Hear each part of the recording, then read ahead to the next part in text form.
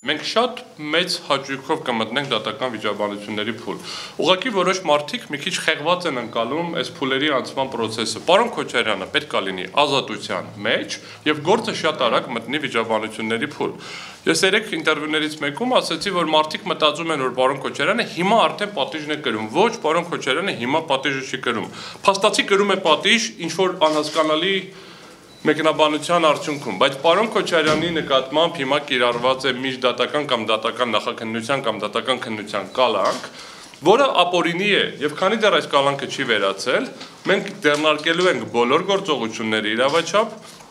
մեր իրավասության ներքո այս կալանքը վերացնելու համար։ Այն մարդիկ, որ ասում են ձգձգում են, ոչ, մենք չենք ձգձգում, ձգձգում է դատախազությունը, ձգձգում է մեղադրող կողմը։ Պարոն Քոչարյանը 5 ամիս լինելով ազատության մեջ մի անգամ չկարողացան բերեն մի հատ փաստ, որ փորձել է ինչ-որ ձև ազդել։ Չկա, ուղղակի պնդում են, որ չկա նման փաստ։ Հետևաբար ուրեմն պարոն Քոչարյանը պիտի լինի ազատության մեջ եւ գործընթացը շատ արագ անցնի դատականության փուլ։ Քանի դեռ պարոն Քոչարյանը ազատության մեջ չի,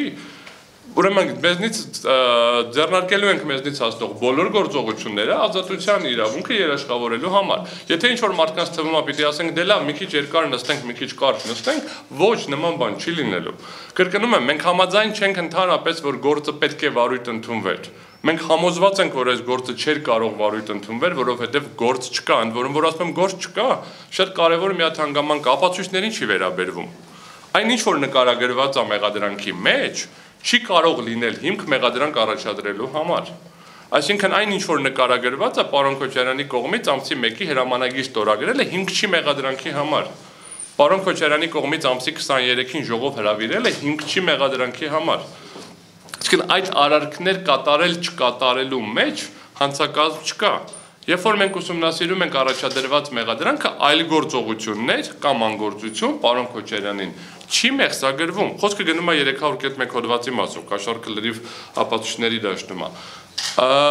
Այսինքն որևէ այլ գործողություն չի մեղսագրվում։ Այսինքն չկա որ հրաման եք տվել ձորքին մարցպանել, չկա որ ընդհանրապես սպանությունա տեղի ունեցել, մարդկանց մահի հետ կապված խնդիր չկա, ընտրությունների հետ կապված ոչ մի հարց չկա, միտինգ ցրելու հետ կապված ոչ մի բան չկա, այսինքն ըստ էության դրված է արտակարգ դրության հրամանագիր ստորագրել ամսի 1-ին, միջև այդ ամսի 23-ին կատարել որոշակի գործողություններ զինված ուժերի շրջանակում, այսինքն զինված ուժերի ստորաբաժանումների տեղաշարժումներ, տեղակայումներ, հրահանգավորում եւ այլն։ Որևէ մեկը դրանցից այն ինչ որ մեղսագրվում է պարոն Քոչարյան, հանցագործություն չի։ Եվ հետեւաբար ապացույցների դաշտում չի խնդիրը, կապացուցեն որ դա արել է, թե չեն ապացուցի որ դա արել է։ Ցավոք սրտի մենք ստիպված ենք ելնում դատական գործընթացի ժամանակ անընդհատ ընդհատել։ Որոշ մեր գործընկերներ մոռանում են, որ սա դատական գործընթաց է եւ կա սահմաններ, որի շրջանակներում գործը քնվում է։ Դա այն մեղադրանքն է, որը առաջադրված է։ Պարբերաբար ինչ որ մարդկանց մոտ հիշողությունը առաջանում 2003 թիվ կամ 98 թվականի այլ դրվագներ, կամ այլ անձանց վերաբերյալ պնդումներ, այսինքն սրանք բոլորը դուրս են քրեական գործի շրջանակներից։ Սա ոչ թե պարլամենտական լսումներ է, սա ոչ թե հասարակական քննարկում է մարտի 1-ի դեպքերի մասին, այդ դա էլ տեղ ունի եւ դրա ֆորմատը այլ է։ Դա դատական գործընթաց է, որը պետք է ծավալվի առաջադրված մեղադրանքի շրջանակներում եւ չի կարող դրանից դուրս գալ։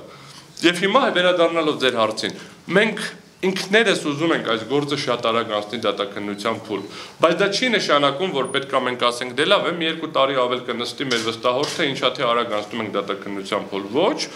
ձեռնարկելու ենք բոլոր գործողությունները օրենքով սահմանված եւ մեր իրավասության շրջանակներում, որպեսի պարոն Քոչարյանի ազատության իրավունքը ապահովենք։ Կլինի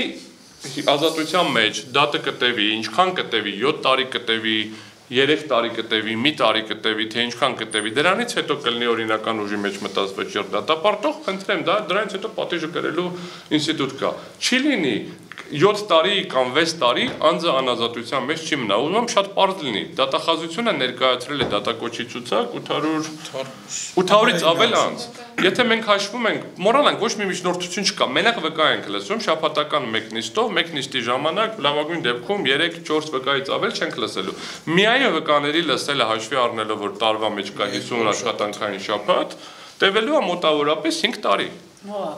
Միայն վկա լսել էի, չեմ ասում, ընդ որում այդ վկաների մեծ մասը մեր կարծիքով ընդհանրապես որևէ առնչություն չունեն գործին։